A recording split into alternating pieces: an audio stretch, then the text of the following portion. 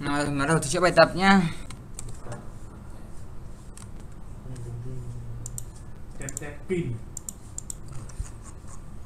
Rồi. Bây giờ mình đi bám đi này. nó không xuất là Rồi. có nghĩa là kia Edit nét này. Giống như bạn luật làm vừa xong đúng không? Khởi tạo cho Zibel cho đèn led này. Get được IQ number về này. Là edit một cái tab Ờ, nó nó là Connect fail set light pin. Này. nó tạo ra một cái nắp nắp này Đi vào handler của bạn này.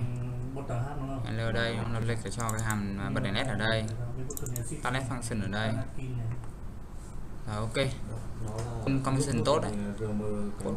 Tiến bộ khá là nhiều. Conversion code tốt, code nhìn clear.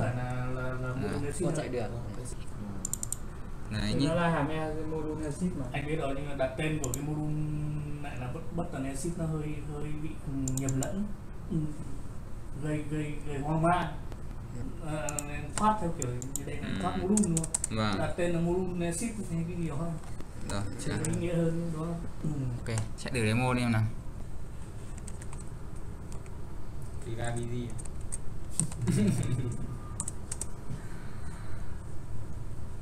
cái này là vào NXP viết demo là nó không cho viết rồi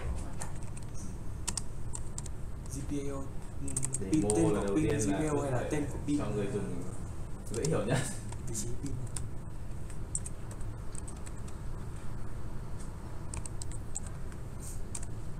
Để cho anh bố em biết tưởng phải nghĩ đến user trước anh ạ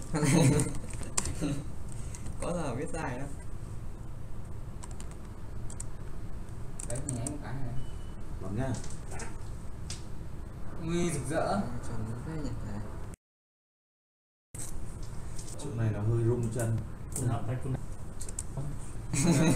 cơ hội. Mấy này mà không được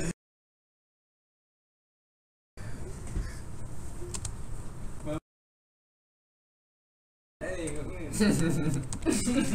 thì em bảo rồi rất là EPN 2